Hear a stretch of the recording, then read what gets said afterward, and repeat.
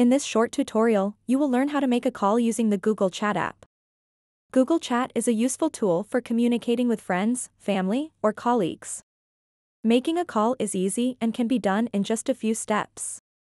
To get started, open up the Google Chat app and sign in with your Google account if you haven't already. After that, find and tap the person you want to call. Then tap on this button at the top right. Now it will show you two options for calling. You can choose between a voice call or a video call, depending on what you need. To make a voice call, tap Chat Audio. To make a video call, tap Chat Video. Remember that in order for these call options to appear and work properly, you must have the Gmail app installed on your device. If it's not installed, you might not see these features at all, so make sure to download it first. So that wraps up this tutorial. If you have any questions about this whole process, please let me know in the comments section below.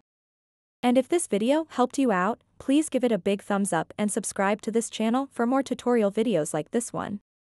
Thank you so much for watching and have a good day.